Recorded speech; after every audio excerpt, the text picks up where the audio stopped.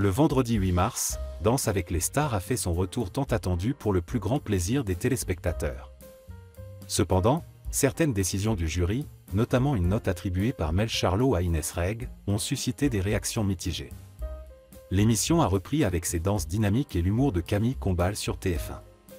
Après une absence remarquée la semaine précédente en raison de la diffusion du concert des Enfoirés, Danse avec les stars était de retour pour la suite de la compétition.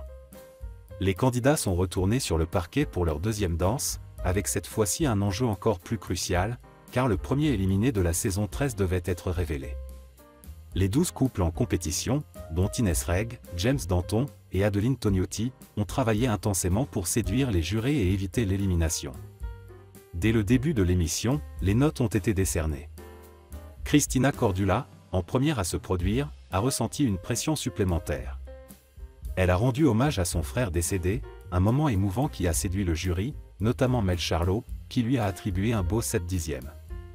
Inès Reg, la deuxième candidate de la soirée, a proposé une danse Bollywood sur le titre Digi de Diams. Elle a obtenu 3 8 dixièmes de faux voto, Jean-Marc Généreux et Chris Marc. Cependant, la note de Mel Charlot, qui lui a donné un 6 dixième, a suscité des réactions mitigées parmi les téléspectateurs. Certains ont exprimé leur mécontentement sur les réseaux sociaux, accusant la nouvelle jurée de favoritisme, surtout comparé au 7 dixième attribué à Christina Cordula. Les commentaires acerbes des internautes ont soulevé des questions sur l'équité des notes, certains s'interrogeant sur la cohérence des évaluations en comparaison avec les performances.